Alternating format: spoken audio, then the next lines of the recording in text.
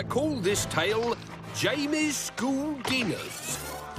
They say that school food was healthier in the old days when children ate brains, liver, heart, and kidney.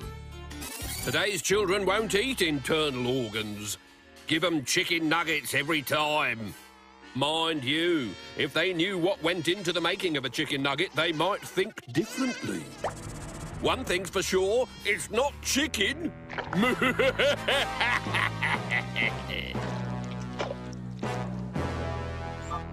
Jamie loved chicken nuggets, but then he did have a brain the size of two peanuts. His parents had given him theirs. You can put our two little brains together to make one big brain. I don't know what to say.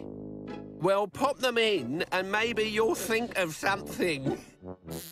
His parents had stopped using their brains the day they told Jamie that a cola and a cheeseburger was a balanced meal.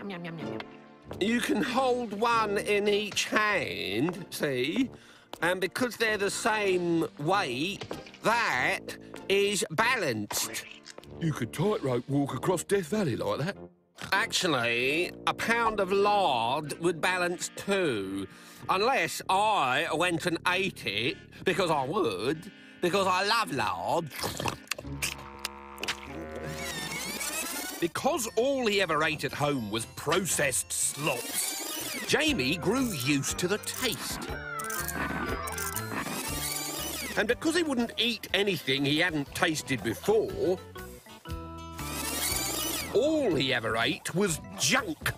And if it's true that you are what you eat, that meant Jamie was junk too, which is why nobody cried when he disappeared. I think I'd better explain. At school, Jamie never ate lunch. The headmistress had a rule that every child had to eat five portions of fresh fruit and vegetables every day. Not Jamie. Won't you at least try something? All right, I'll try this. Yuck! It's disgusting! Now do you believe I don't like anything? That she relaxed her rules and hired an emergency dinner lady who couldn't cook fresh food for toffee, but could reheat junk. The next day, Ambrosine started at the school. She arrived in a tanker full of cooking oil. And when she jumped out of the cab, children fled in terror. It was the curly toes and the creepy way she had of licking sugar off a teaspoon. You must be Jamie, she said. How did you know? Overweight children give off a powerful scent when they're ripe for the picking. Are you the woman who's come to cook me, uh, uh, cook for me, I mean? Whoops. Slip of the tongue. Or was it? Now, take me to your larder. We must feed you up immediately. From that day on, Jamie grew fatter with every processed school dinner she produced. These are bacon drummers. Are they pig's legs? They were legs once. From a pig? Unlikely. But he still ate seconds. The next day, it was chicken nuggets, shaped into feet. Made from the rankest cuts of meat that I wouldn't even feed to a dog. I have extracted all the taste and goodness, then pumped it full of artificial flavorings and preservatives to give it a shelf life longer than radioactive uranium. Is it chicken? No, but it would be chicken not to eat it. Enjoy!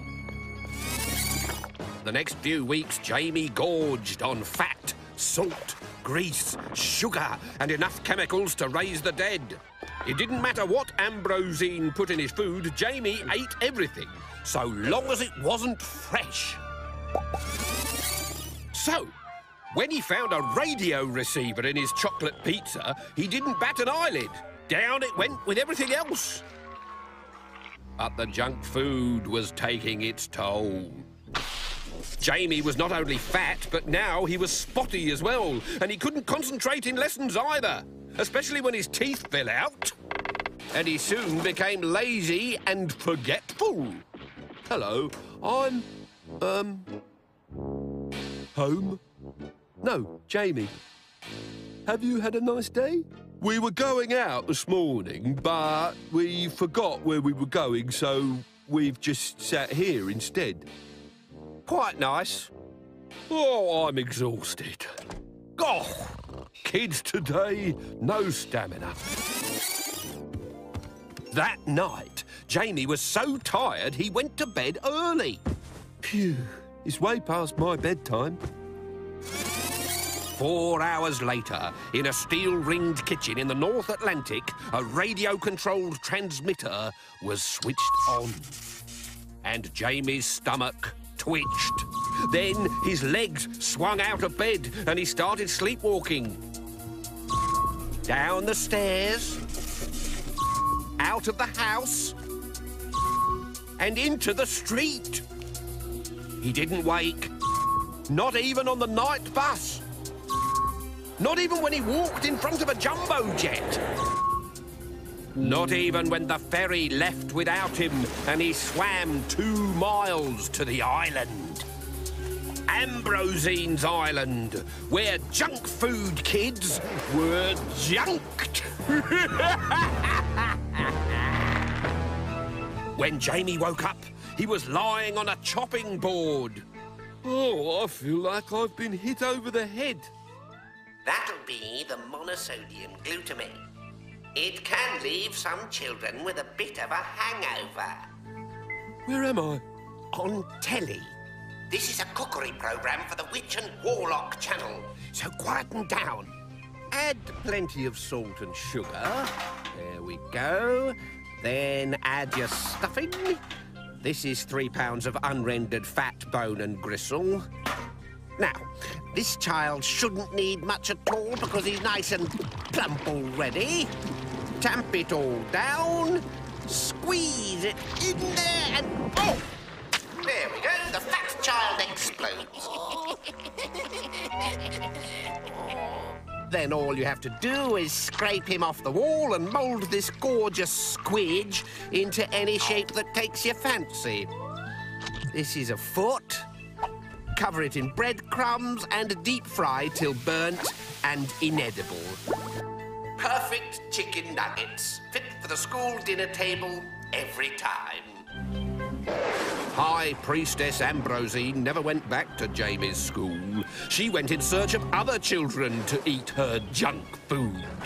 So beware of any new dinner lady who suddenly turns up at your school and offers you chicken nuggets. She may not be a lady at all. She may just be a witch shopping for ingredients.